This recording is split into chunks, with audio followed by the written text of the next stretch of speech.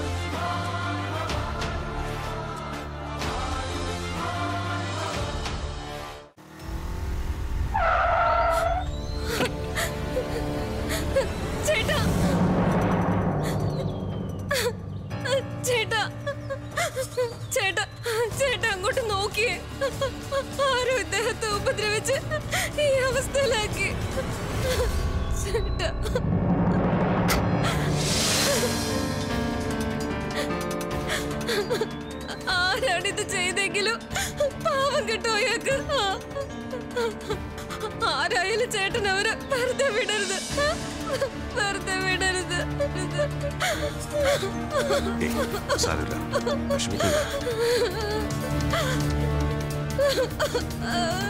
വെറുതെ വിടരുത്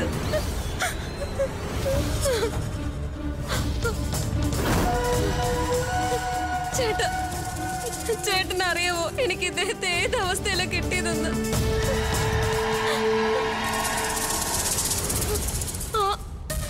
എയർപോർട്ടിലേക്ക് പോകുന്ന വഴിയിൽ കുറച്ച് ഉള്ളിലോട്ടായിരുന്നു. ഞാൻ ജി പി എസ് നോക്കി അവിടെ എത്തിയത്.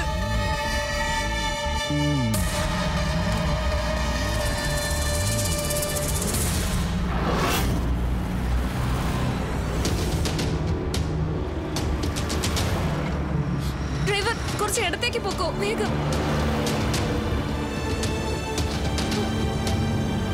മതി മതി നിർത്ത്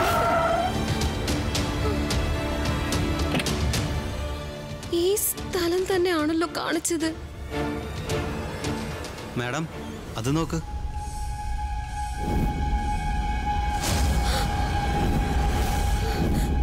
സുധീരേട്ടാ അയ്യോ ഇതെന്താ പറ്റിയത്? അയ്യോ ഈ തേളിനെടുത്ത് കളയൂ.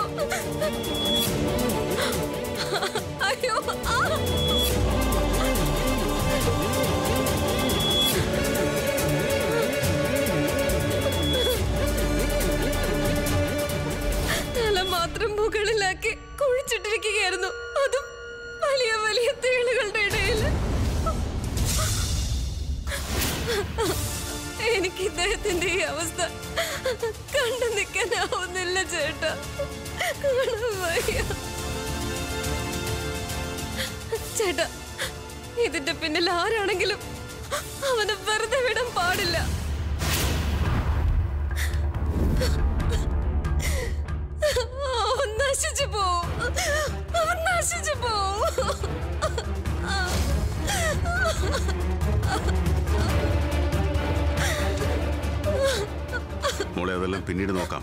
ആദ്യം ഞാൻ ഡോക്ടറെ വിളിക്കാം. കൃഷ്ണ ഡോക്ടറെ വിളിക്കേ. വേണ്ട. ഡോക്ടറെ ഞാൻ വിളിച്ചിട്ടുണ്ട്. ഇപ്പൊ വന്നുകൊണ്ടിരിക്കാവും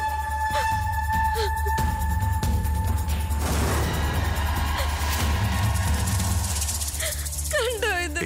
സാരമില്ല. ചേട്ടൻ വെറുതെ വിടരുത്.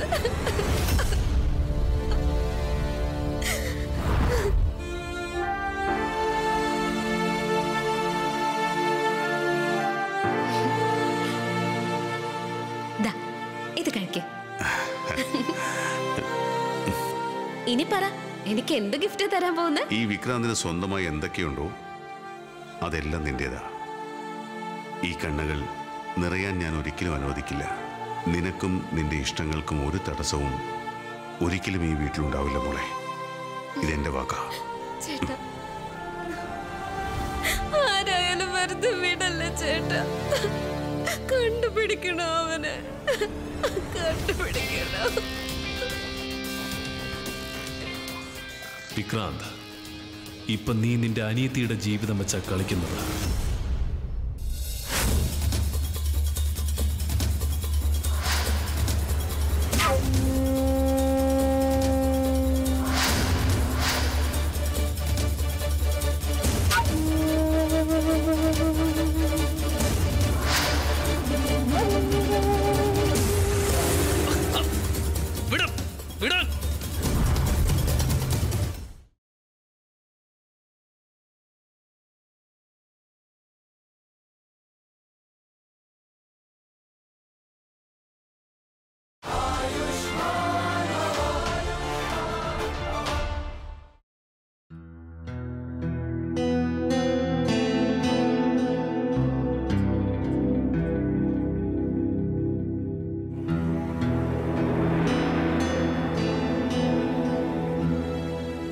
സുധീറിന് എന്തു പറ്റിയതാണെങ്കിലും അത് പറഞ്ഞോളൂ. എനിക്ക് മന്ത്രവിദ്യയിലൂടെ മാറ്റാൻ പറ്റാത്തതായി ഒന്നും തന്നെ ഇല്ല അത് ഇപ്പോ എനിക്കൊന്നും പറയാൻ കഴിയില്ല. ബോധം വന്നിട്ടേ എന്തെങ്കിലും പറയാൻ പറ്റൂ. ഇതെന്താ പറ്റിയത്? എന്നോട് എന്തെങ്കിലും പറയേ. എന്താ എന്നോടൊന്നും മിണ്ടാത്ത സുധീരേട്ട. സുധീരേട്ടന് ബോധം വന്നു. സുധീരേട്ട. സുധീരങ്ങൾ പറയും ഇതാരാ ചെയ്തേ? സുധീരങ്ങൾ അങ്കിൾ പറയും ശരിക്കും എന്താ സംഭവിച്ചത്? ഇതൊക്കെ ആരാ ചെയ്തത്? ആരാണെന്ന് പറയൂ സുധീരേട്ട.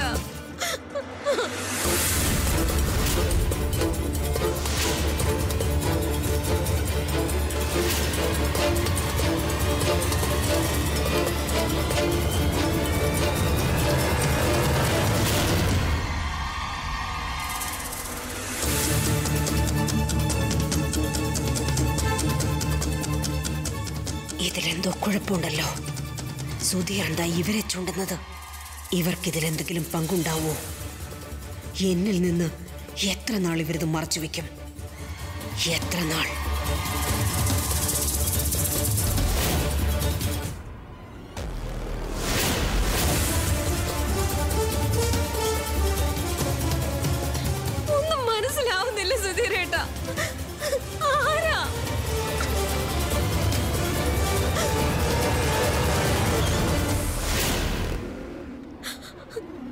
സുധീരങ്ങൾ പറയേ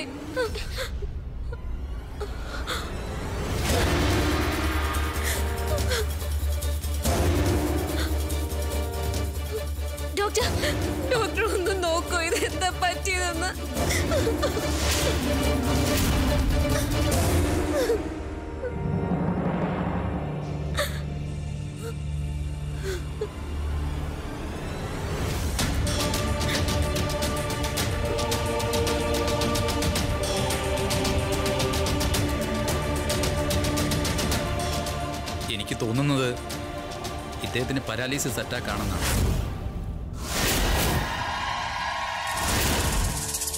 ഇദ്ദേഹത്തിന് ഇനി കയ്യ് കാൽ നാവ് ഒന്നും ചലിപ്പിക്കാനാവില്ല. അങ്ങനെ ഒന്നും പറയില്ലേ ഡോക്ടർ സർ? പാവം കിട്ടും നിങ്ങൾക്ക്. അതെങ്ങനെ സംഭവിക്കാനാ? ചേട്ടാ കേട്ടില്ലേ ഈ പറയുന്നത് എന്തൊക്കെയെന്ന്? അമ്മായി ഒന്ന് സമാധാനോടെ ഇരിക്കും പ്ലീസ് ഐ തിങ്ക് ഇദ്ദേഹം കഴിക്കാൻ പാടില്ലാത്ത എന്തോ കഴിച്ചിരിക്കുന്നു. കൃഷ്ണ ഇത് പൂജ കഴിഞ്ഞ് അമ്മ അമ്മ കൊടുക്കുന്ന പ്രസാദമല്ലേ? കൃഷ്ണ കൃഷ്ണ ഇതൊന്നും എനിക്ക് വേണ്ട. നീ ഇത് കൊണ്ടുപോ. ഇദ്ദേഹത്തിന്റെ മെഡിക്കൽ റിപ്പോർട്ട് കണ്ടിട്ട് ഇനി എന്തെങ്കിലും പറയാൻ കഴിയും. സുധീരേട്ടാ.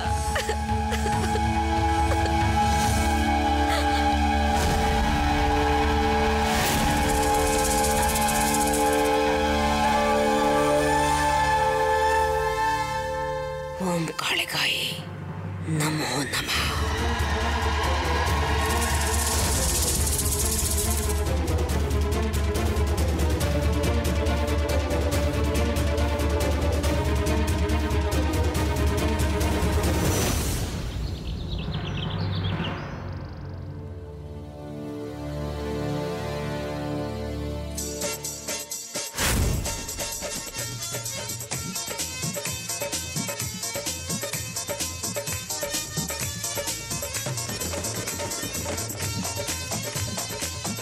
ഇതാരാ ഈ വീടിന് മുമ്പിൽ വന്ന് ബഹളം വെക്കുന്നത് രാവിലെ ഇറങ്ങിക്കോളൂ. രാവിലെ ഇതെന്താ ഈ ബഹളം?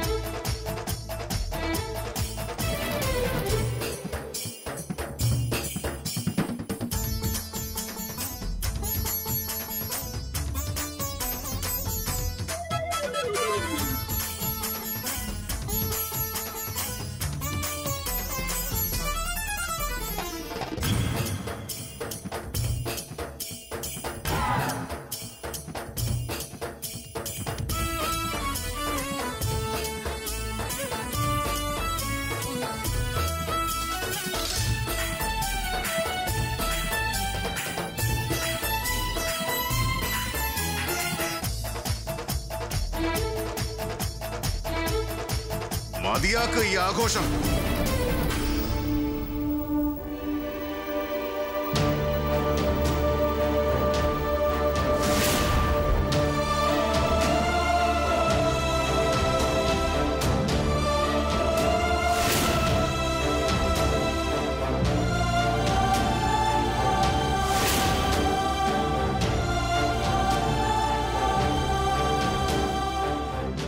വേഗം പൊക്കിയോടുന്നു ഇവിടെ ഘോഷയാത്രയൊന്നും നടക്കുന്നില്ല. നിങ്ങൾ ഇവിടെ കിടന്ന് ഇങ്ങനെ തുള്ളിച്ചാടാൻ.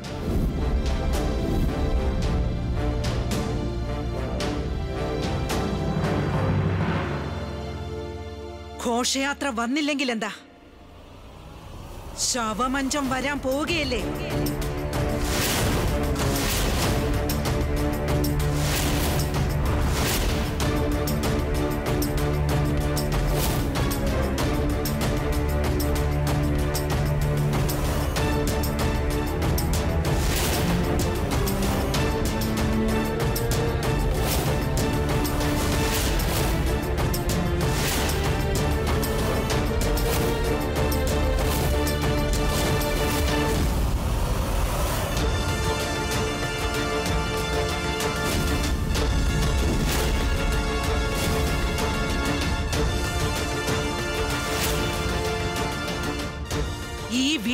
ആപത്ത് വന്നാൽ അതിൽ പര സന്തോഷം എനിക്ക് എന്താ ഉള്ളത്? എന്റെ മനസ്സ് എത്രയാണോ വേദനിച്ചത് അത്രയും ഞാൻ ഇവിടെ ആഘോഷിച്ചിരിക്കും.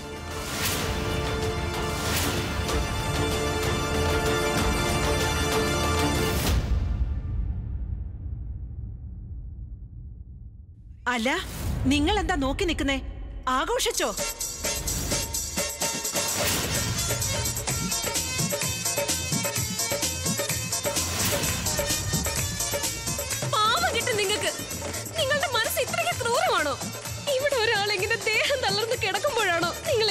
ആഘോഷിക്കുന്നത്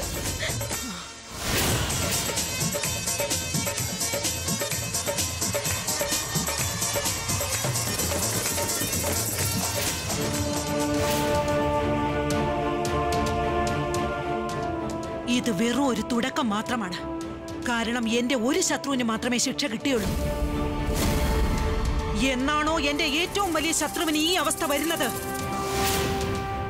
അന്ന് ഞാൻ വലിയ ആഘോഷമായിരിക്കും നടത്തുക. മഹോത്സവം.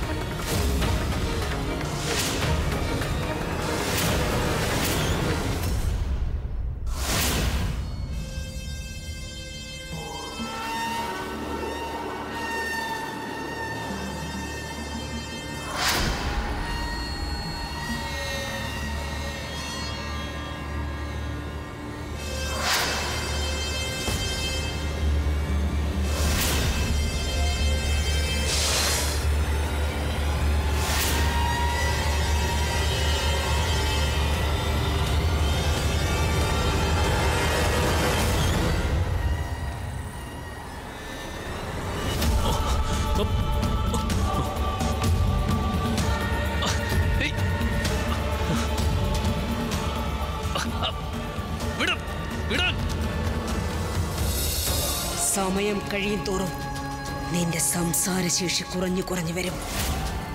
പിന്നെ ശരീരത്തിൽ നിന്നും പ്രാണൻ നീക്കുമായി പോകും. സത്യം പറയുന്നതിനായി നീ എത്ര സമയമാണോ എടുക്കുന്നത്? നിന്റെ മരണത്തോട് നീ അത്രത്തോളം അടുത്തുകൊണ്ടിരിക്കുന്നതാണ്. ഇത് വളരെ പതിയെ പതിയെ നിന്റെ ശരീരത്തിൽ തുളഞ്ഞു കയറും.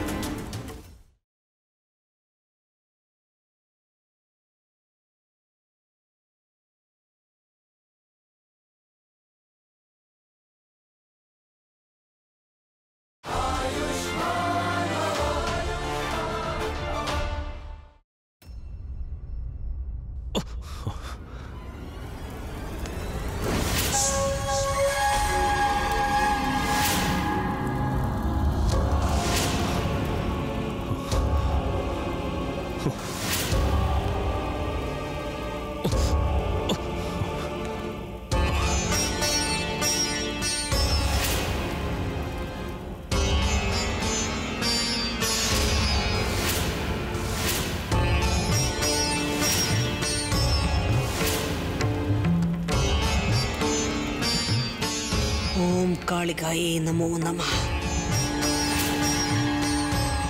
കൃഷ്ണ ഇനി നീ സത്യമെല്ലാം പറഞ്ഞു. സുധീർ ഈ അവസ്ഥയിലായത് നീ കാരണമല്ലേ?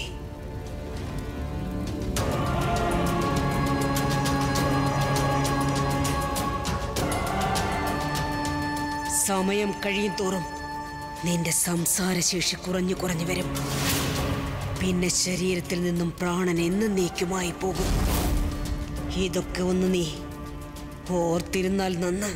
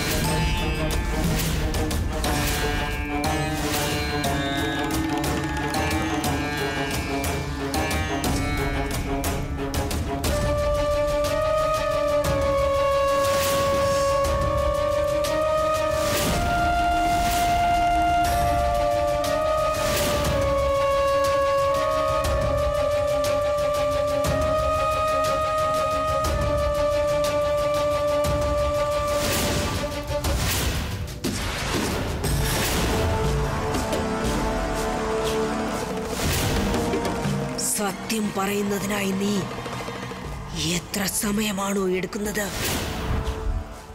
നിന്റെ മരണത്തോട് നീ അത്രത്തോളം അടുത്തുകൊണ്ടിരിക്കുന്നതാണ്. ഈ കിടക്കണ്ടല്ലോ? ഇത് വളരെ പതിയെ പതിയെ നിന്റെ ശരീരത്തിൽ തുളഞ്ഞു കയറും. വളരെ വേദനയേറിയ മരണമാകും നിന്റേത്. അപ്പോ വീണ്ടും ജന്മമെടുക്കുന്നതിന് മുൻപ് നീ ഒരു നൂറ് പ്രാവശ്യമെങ്കിലും എന്നെ ഓർക്കുക തന്നെ ചെയ്യും.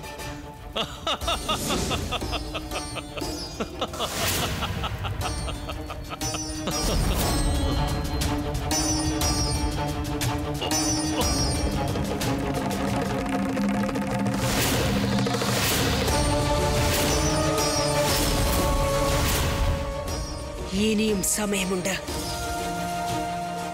സത്യം എന്താണെന്ന് പറഞ്ഞൂടെ നിനക്ക്? നിന്റെ ജീവൻ വേണമെന്നുണ്ടെങ്കിൽ നീ സത്യം പറഞ്ഞോ?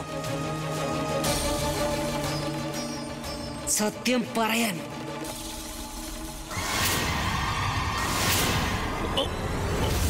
നിനക്ക് എന്നെ ശരിക്കറിയില്ല. പറഞ്ഞേക്ക് കൃഷ്ണ. എനിക്ക് എന്തൊക്കെ ചെയ്യാനാകുമെന്നും നിനക്കറിയില്ല.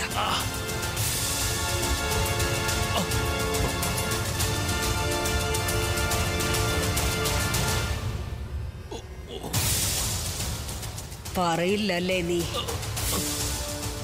എങ്കിൽ ശരി. സത്യം പറയില്ലേ നീ?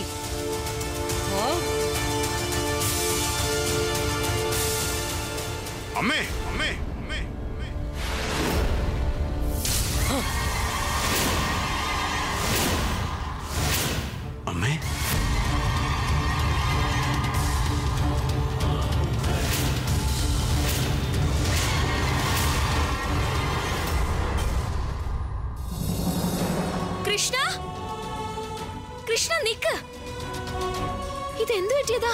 നിന്റെ ശരീരമെല്ലാം മുറിഞ്ഞിരിക്കുവാണല്ലോ.